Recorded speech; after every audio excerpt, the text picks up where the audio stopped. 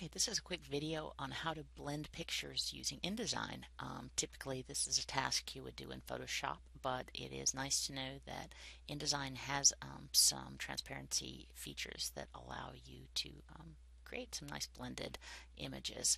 So I have my document set up um, with a beach picture that I would like to blend into a mountain picture.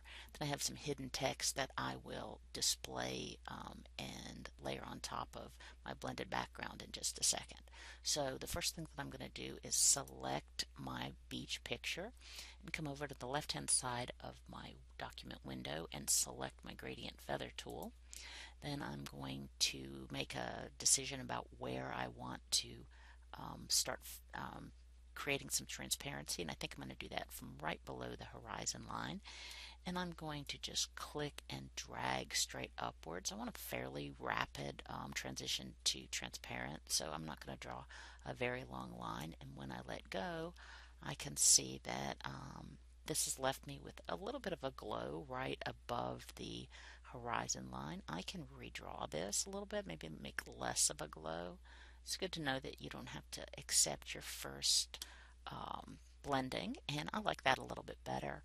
So now I'm going to take my black selection tool and click on the pasteboard and make sure that I don't have any artifacts to worry about. Um, and and now that um, I like this, I'm going to go ahead and lock down this layer, turn on my text layer and unlock it um, just in case I would like to move um, this text a little bit. I think I'll move it just a slightly higher.